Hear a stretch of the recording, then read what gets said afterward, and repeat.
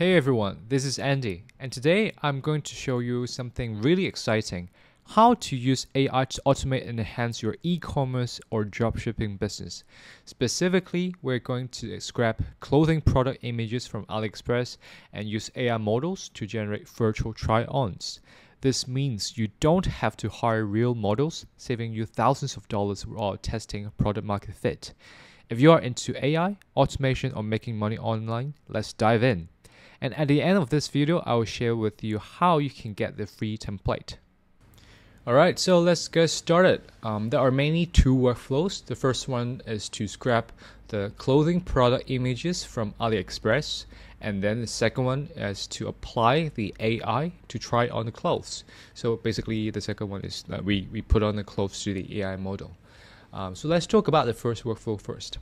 Uh, for the trigger, um, as demo purpose, we just use uh, this when clicking test workflow. You can choose um, other trigger, for example, um, schedule trigger. Um, for example, we can schedule, uh, we can do it once per day or once per hour. Just um, you can choose your own interval. And then for this node, uh, we can choose HTTP request to make an HTTP request and returns the response data.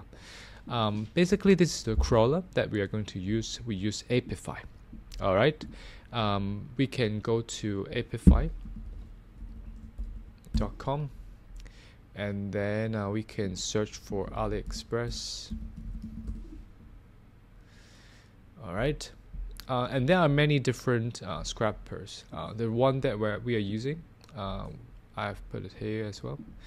This is the actor that we are going to use simple AliExpress scrapper. Um, you can have a free trial uh, for uh, two hours.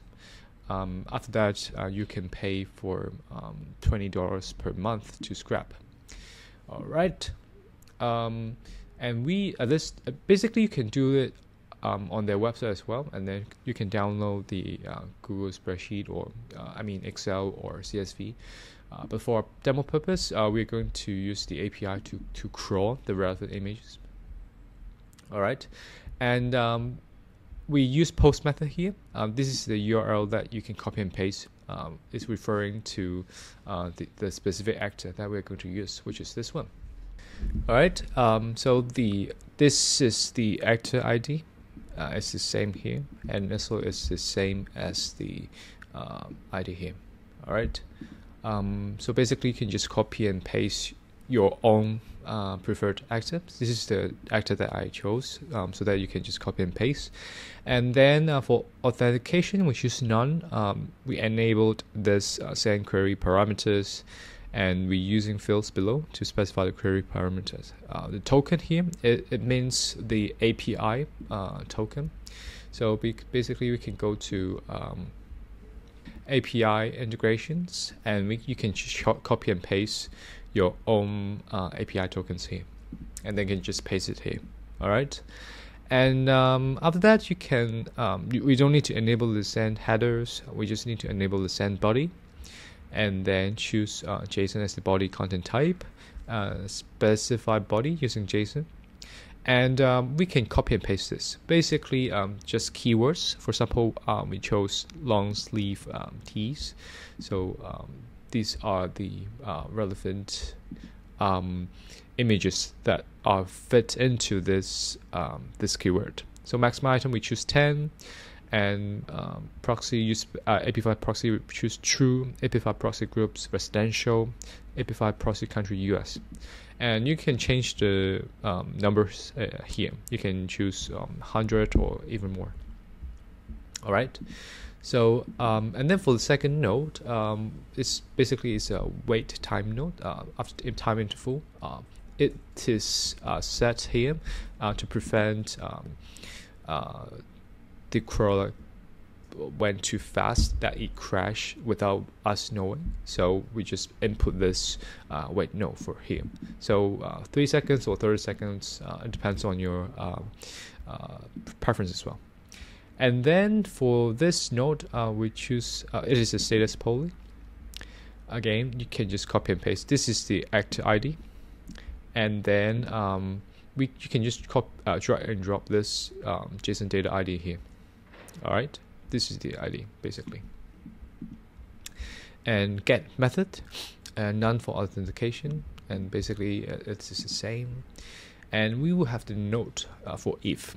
Basically, for this one, if it is succeeded, um, then it will proceed. If not, it will keep looping. All right. So the JSON data status basically is here. It's drag and drop here. Alright, after the crawling is finished, um, we will have another node. So we add another HTTP request node, and then we rename it as get result. We use get method. Um, you can use the same URL. We can just uh, drag and drop um, this default dataset ID, drop it here, and then slash items. Alright, uh, none for authentication. And you can see on the right hand side, these are the outputs. You will have the image URL, uh, product code, product title, original price, price, sold, tag, uh, text, product URL, store ID, store name, uh, store URL, etc. Okay. All right. For this node, um, we use uh, edit fields. This one, and then uh, we will input here uh, menu mapping as a mode. For the product code, we choose uh, colon PD. Um, and then we add the JSON product code here. This one is product code.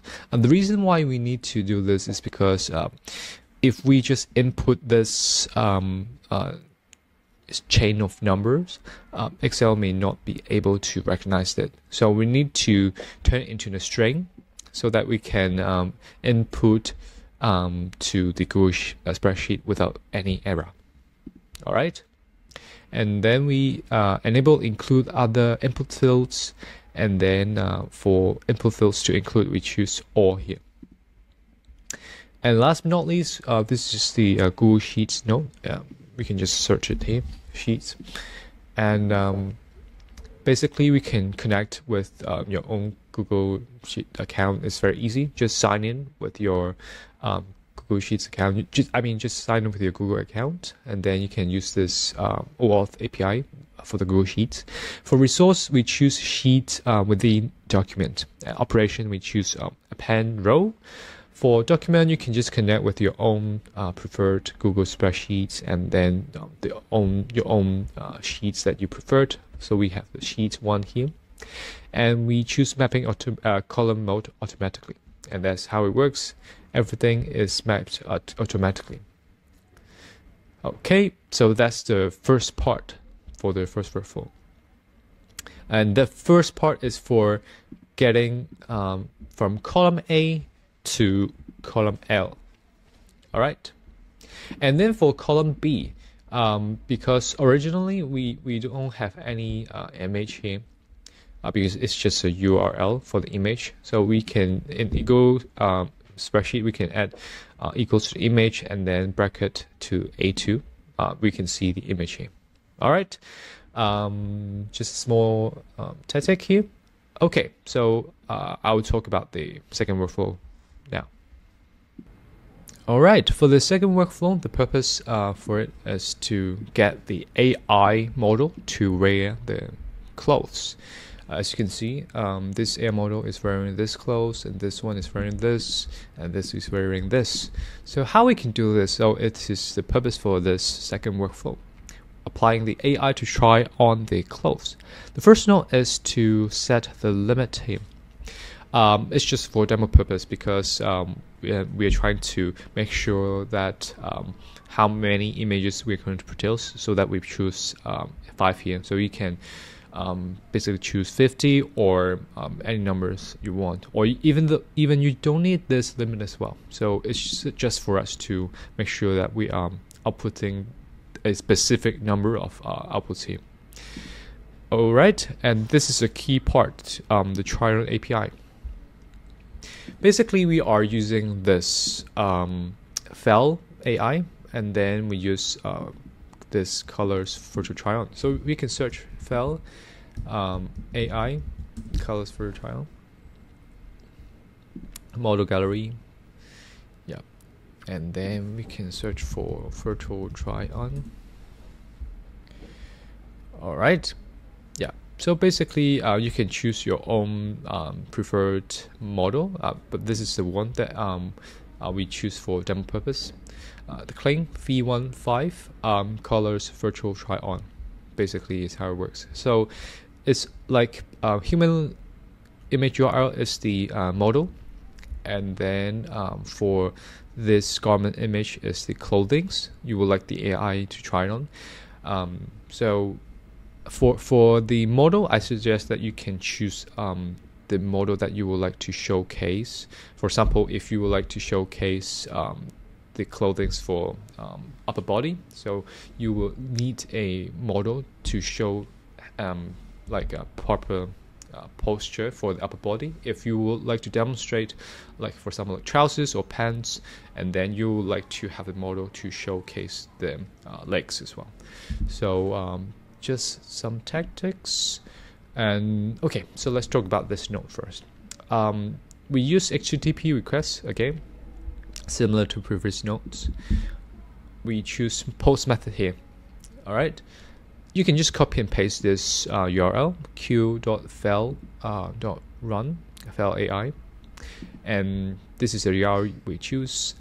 Um, you can just copy and paste, and basically um, we use uh, gener generic credential type. We use header auth, and you can set up your own header auth here again. So authorization, and then paste your API key.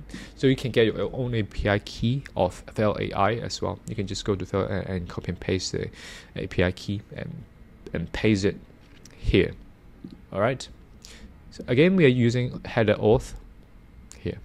Okay, for the credential setup and we enable um, the send body here and we use JSON as a body content type uh, specified body we're using JSON and we click expression and let's take a look. So human uh, image URL basically we are using this one. So this one is our model as you can see. This one uh, is the model we use. All right and then garment uh, image URL we can just uh, drag and drop the image URL here this is the same image as we saw here. All right. Okay so let's go to next node um, again we put weight here um, to prevent from crashing without uh, us notice. Um, so you can choose your own waiting time as well. And basically this one is for checking the status. Um, it's another HTTP request node we use get method. For the URL we just drag and drop the status URL this one here. All right and authentication of course generic credential type header auth um, the fal AI um, header auth. Basically it's the same settings as the previous um, um, fal AI one and then we will see the output on the right hand side. All right? And we added if node here. Um, because if it is not complete um, we will uh, need the workflow to keep looping and keep uh, keep executing. So we just drag and drop this status here and make sure if it is equal to completed then we can stop to proceed to the next uh, stage which is to try on and get the result we is get method here and for URL we can drag and drop this response URL alright. Basically um, alright. And then again same setting uh, generic credentials type uh, header auth uh, your fal AI account. And um, when we drag this we'll output this. Okay. So this one is the input input on the right uh, left hand side and then right output on the right hand side. Basically this URL this one is the same as here. All right for the last note um, we will just update the Google Sheets. Um, so again connect with your own credential um, the resource we choose sheet within document operation we choose update row and choose your own document and sheet um, we map each column manually and column to match on product code. uh, code is this one, this column. And then we will have the generated in, uh, photo. Um, so we need to um, just drag and drop this here. And um, we will have this URLs updated. And how we can see the uh, images on Excel again, we choose uh, equals to image, and then we can just refer to this image uh, URL, and then we can see the image on Google Sheet. Great. So basically, it's a quick um, tutorial on how we can use um, AI for drop shipping. We can um, how we can do the virtual try on, and we can do the image scrapping from AliExpress as well. Um, hope you guys enjoyed this tutorial. Um, if you would like to get the free template, uh, please feel free to get it uh, from our free AI Andy no code uh, community. And uh, see you there.